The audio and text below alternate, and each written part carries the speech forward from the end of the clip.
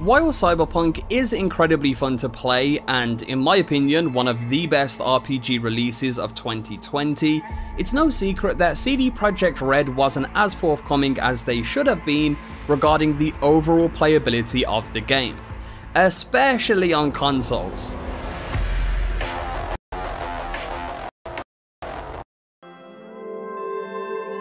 Yeah, it's it's pretty bad on last gen. I mean, we've had performance issues non-stop, game-breaking bugs that completely pulled the brakes on story progression, and there were even some features that for one reason or another didn't make it into the final product. So today, we're going to be taking a look at 10 features that were removed from Cyberpunk 2077. Let's jump into it. Number 10, a dynamic and challenging weather system.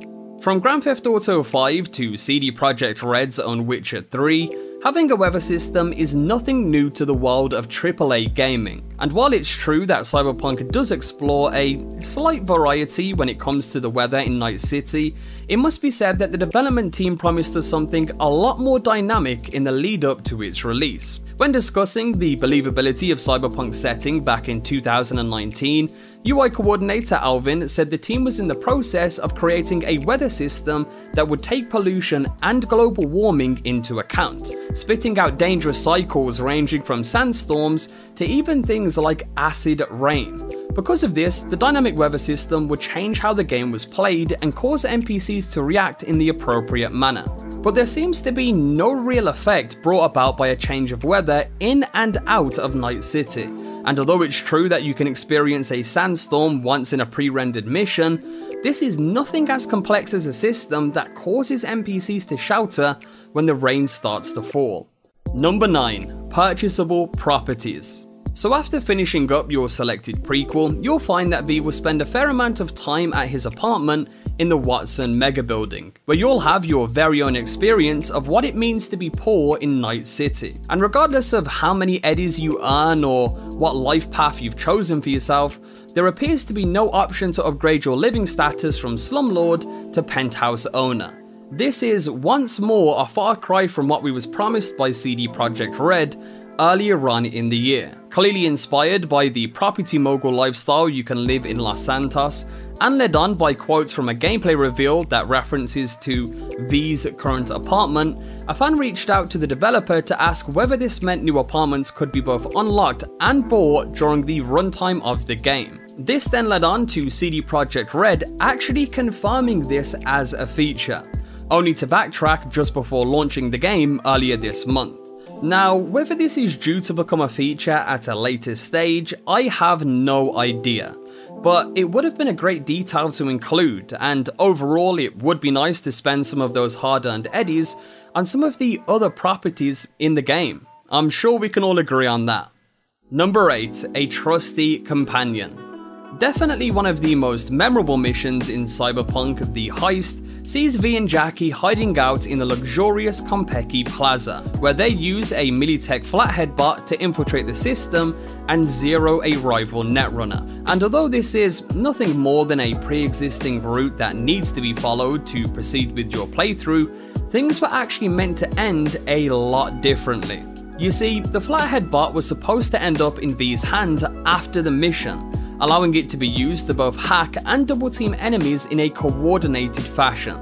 Now, since V's own abilities rivaled that of the Flathead, the decision was made to cut it from his arsenal, leaving only Dum Dum and Julie to follow us around in one of the weirdest glitches to ever come out in Cyberpunk. Yeah, there was a weird bug going around where Dum Dum would teleport to you, he would follow you throughout your whole playthrough, and kind of act as a companion. And as annoying as that was, at least we got somewhat of a taste of what having a companion would be like in this game. Number 7. Amazing AI.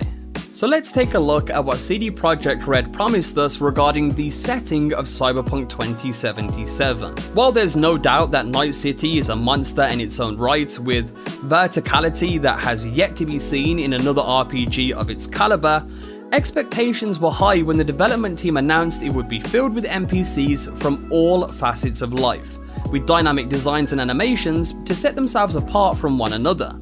In fact, according to earlier interviews, these NPCs would not only fill Night City, but have their own daily routines that would contribute to the overall believability of the city, making it the most realistic of any setting in an open world game to date. I quote, We've greatly enhanced our crowd and community systems to create the most believable city in any open world game. The city streets are bustling with crowds of people from all facets of life, all living their lives with a full day slash night cycle.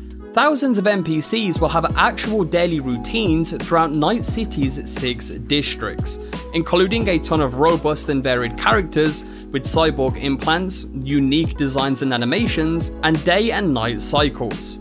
Instead, what we're left with is a far cry from what we were promised, with unimportant NPCs having no day slash night cycle, single line dialogue responses, the inability to move past any obstacle that happens to be in their way, and even the incapacity to defend themselves when your fist does all the talking.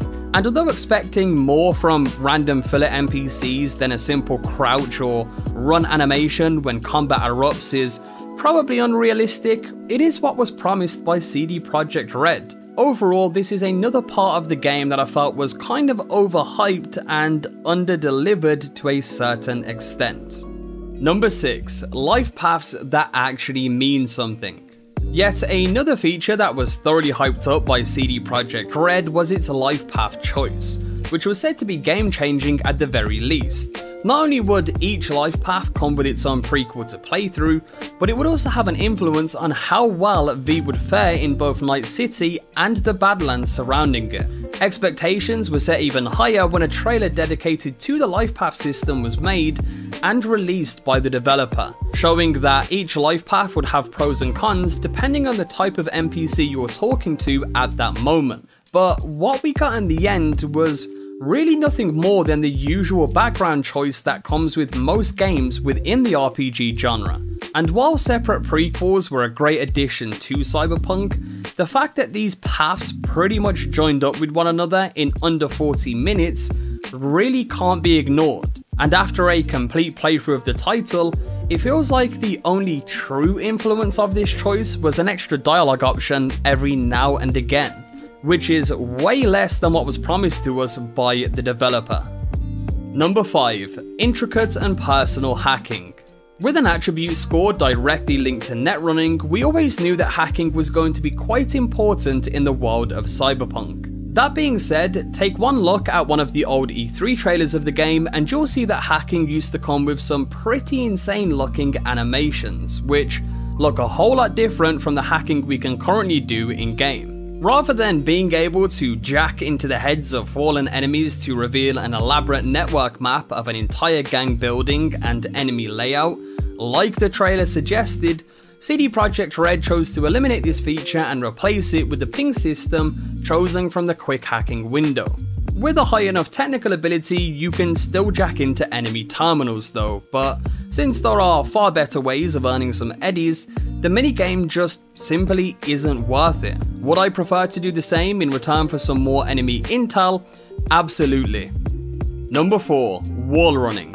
We always knew that Cyberpunk would be filled with a number of choices, especially when exploring Night City and completing the various side missions spread throughout it. And, to the credit of CD Projekt Red, this is exactly what they achieved by allowing various dialogue options, cybernetic enhancements, and character builds to influence how missions could be tackled, sometimes even avoiding boss fights entirely which would otherwise be enforced. A feature that fit very neatly into this category of choice was the ability to wall run and plant your mantis blades into a surface to suspend yourself above enemies. Previously shown in a gameplay trailer, fans of stealth builds became excited by the prospect of making it through an enemy encampment and taking out enemies by leaping down on them. This feature was, however, unfortunately removed from the game because of design reasons, which is pretty much development talk for not being able to pull something off, and although the fact remains that there is more than enough flexibility in Cyberpunk, the ability to be a net and wall runner would have been pretty cool. Number 3. A corruptible and complex policing system. One of the most criticised features of Cyberpunk has to be the way that crime and policing takes place in Night City, with CD Projekt Red promising a far more elaborate system than we currently have at our disposal. Previous gameplay trailers and write-ups told the story of a dynamic system where the NCPD would rely on you to eliminate or arrest criminals, and would do the same to you if taking part in an illegal activity. This does however appear to have been nothing more than a goddamn dream as the system we currently have is incredibly flawed. To put it simply, when you do a crime, police will randomly spawn around you, and the system doesn't depend on your crime being witnessed. They don't thank you for any assistance you've given them, don't attempt to question or arrest you, and refuse to attack gang members participating in illegal activities when chasing after you. Oh, and not to mention, apparently the police don't even know how to drive in this game. It all comes back to the believability of the city, which is where the NCPD fails miserably. And in a corrupt metropolis ruled by Eddies, an option to bribe police officials into eliminating enemies or refusing to arrest you would have been an incredible feature to keep. And in general, I do wish the policing system kinda lived up to the hype that they made it out to be, and just was a bit more complex than what's currently in game. Number 2. Customizable Vehicles now, since Cyberpunk was always set to be an open world game where exploration would be rewarded, travel throughout Night City became a hot topic of discussion.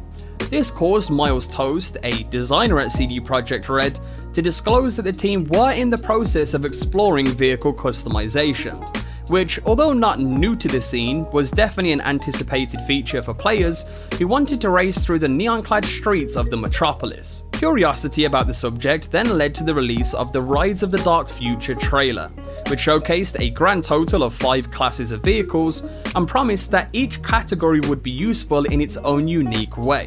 One of these categories was the sports class, which was specifically said to have exchangeable parts perfect for street racing. But not only is racing not really a major thing in Cyberpunk, there seems to be no real significance between the various hyped up classes of vehicles found throughout the city, with the option to customize having been cut for one reason or another. Number 1. Third person cutscenes. Last but not least, we have a feature that would have added a lot more of V into the stunning visuals surrounding Night City. Rather than limiting Cyberpunk as a first person experience, CD Projekt Red played around with the possibility of adding third person cutscenes that showed off the character you worked so hard to create at the beginning of the game. Considering that we only ever get to see V in the options menu or when looking into a mirror, this little development would have been a breath of fresh air if chosen to feature. I mean, you guys can let me know in the comment section down below. Do you think this would have been a great thing to add? I know the whole first person only thing definitely keeps the immersion flowing in the game, but I can't help but feel that this would have been a great thing to add. Anyway, I hope you guys did enjoy this video today. That was 10 features removed from Cyberpunk before release. Uh, if you are new around here and you did enjoy this video, be sure to drop a like down below and subscribe. I put out Cyberpunk content every other day on the channel.